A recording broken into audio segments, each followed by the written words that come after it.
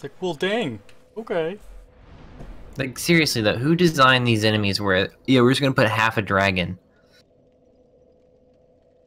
Like what enemy can we put down here on the lava? Uh, what about a dragon's asshole? Okay, that works. That seems legit. Seems legit. Alright. Yeah.